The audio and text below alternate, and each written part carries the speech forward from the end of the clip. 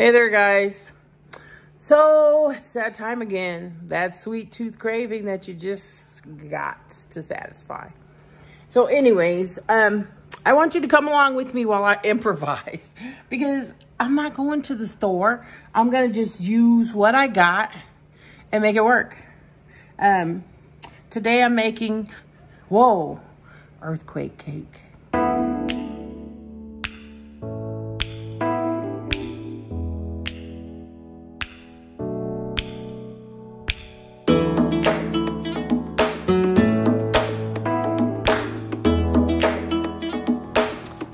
I'm going to actually try and make two of these cakes because I have enough supplies. Even though I don't have everything that it calls for, I have enough substitution supplies as well. So I'm going to use two foil pans. I'd say, I don't know, what, 9 by 11. And I'm going to spray those with a non-stick cooking spray. All right, so once I get my pans coated, I'm going to take a bag of coconut sweetened. And I'm going to dump it in the bottom. And since I have two bags, I'm gonna do the same thing with the other one. Now you just wanna spread that out evenly to coat the entire bottom of your pan. Spread it out.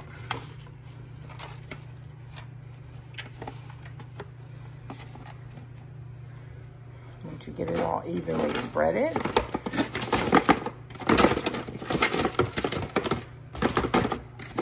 Next, I'm gonna add some nuts. Then I'm going to sprinkle with my pecans. Oops. I'm trying to do this one-handed, guys, sorry.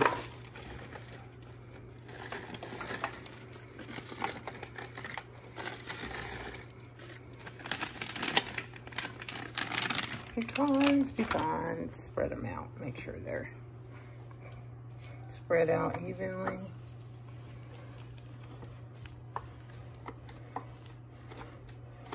And I happen to like a lot of nuts.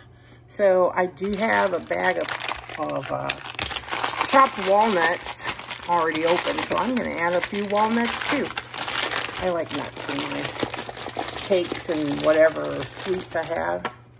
So we're going to add a few walnuts as well.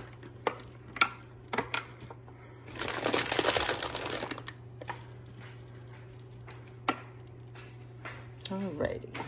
So now you have your nuts and your coconut on the bottom. Okay. Next, I'm going to sprinkle a few dark chocolate chips on both sides.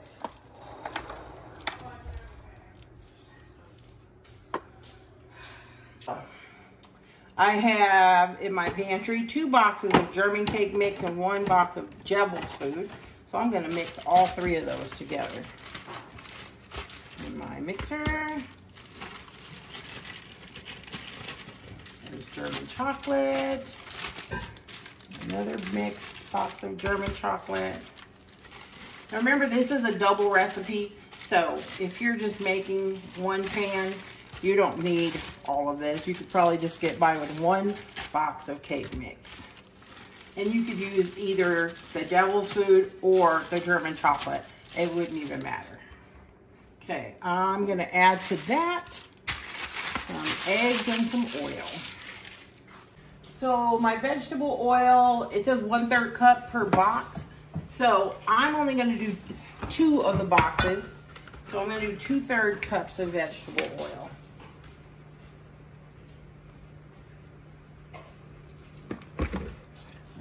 that. It asks for three eggs per box, but I'm only gonna do four eggs.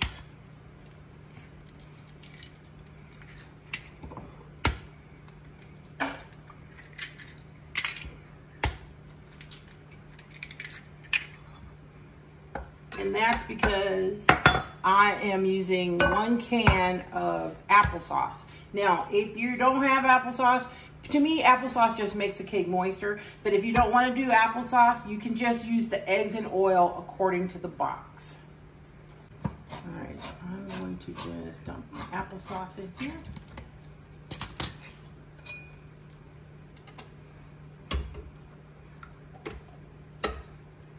This bowl's kind of full. You guys know I like to push the limit on these bowls. All right, get rid of my garbage here. Okay. See if it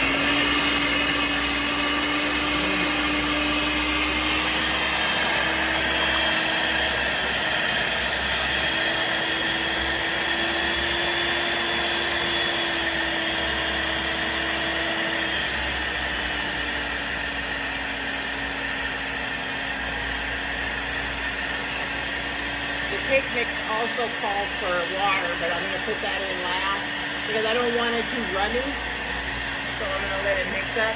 Each box calls for one cup of water. I'm going to add two cups.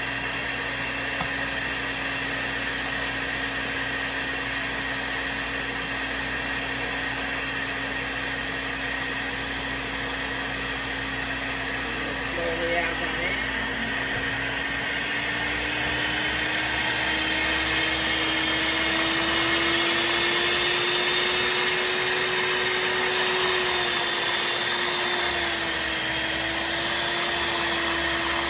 I love this mixing bowl because it's fun. I had someone ask me where I got it. I don't remember.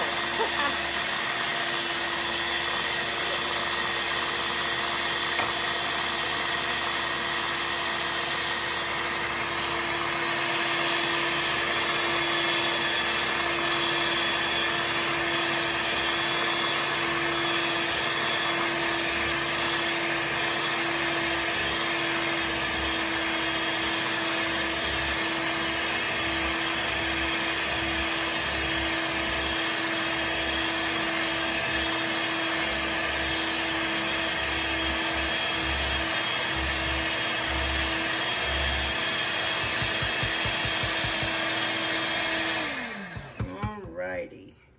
So like I was saying, I don't remember where I got this. I do remember that it was a Black Friday special.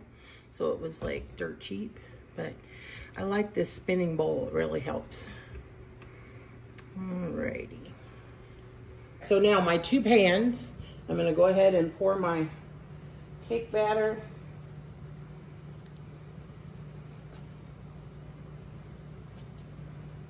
Over the top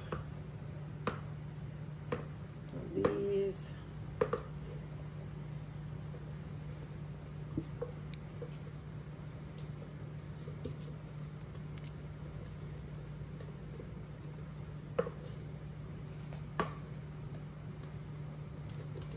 It's nice and fluffy, this cake batter.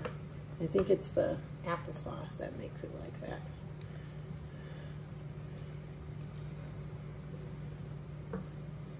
And it just cuts down on some of the egg and oil if you use applesauce, and it makes it so rich and moist.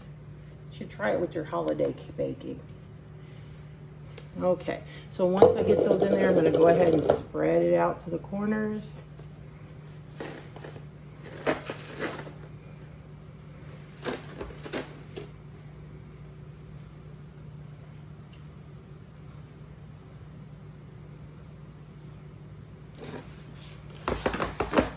Same with this one.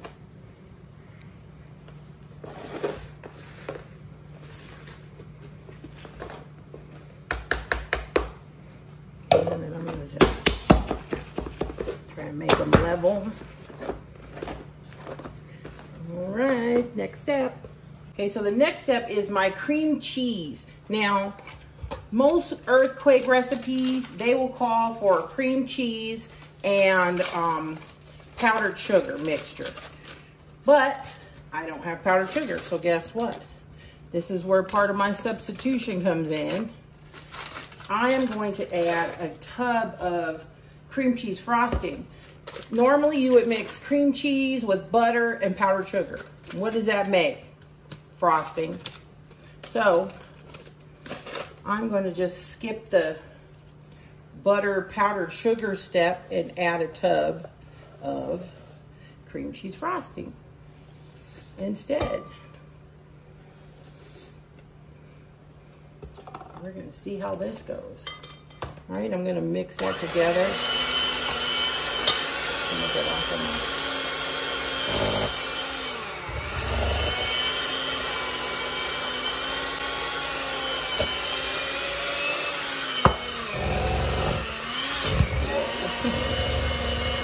Mess.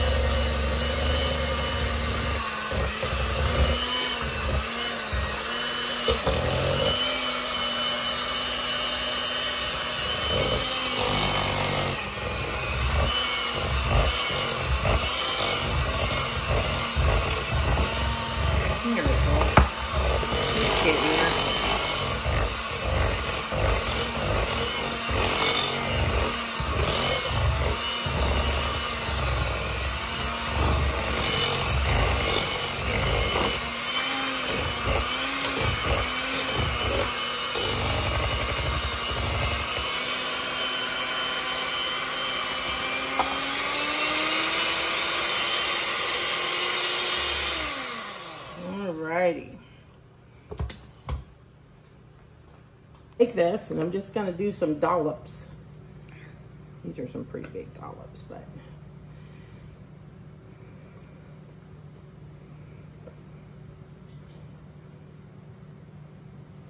dollops of the cream cheese.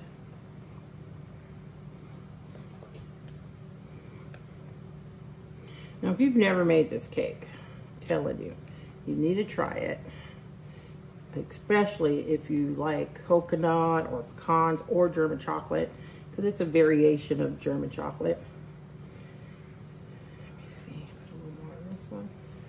I'm just putting it all in there kind of way right now. All right, then I'm just gonna kind of swerve it a little bit. I'm making a big mess, but you get the idea. Swerve it in there. Now, if you want to be OCD, you can make little small drops and not swerve it, and it'll kind of sink down. But I'm just trying to get it all over. I like every slice to have a little bit. And when you do the drops and you don't swirl them, then it's hard to have some in every bite. So, here we go.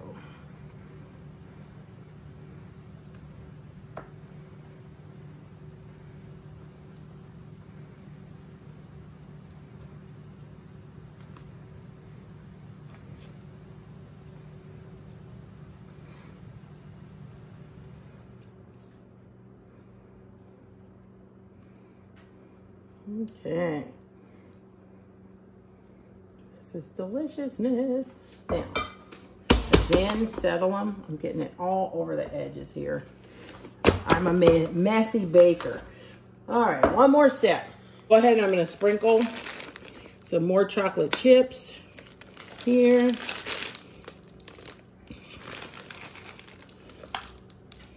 Because you can never have enough chocolate chips. I'm sorry. That's just a fact of life. In addition to what I also found in my pantry were some Ghirardelli's dark chocolate melting chips. So I am going to add some of those because dark chocolate is my absolute favorite. So can't go wrong, like I said, with extra chocolate.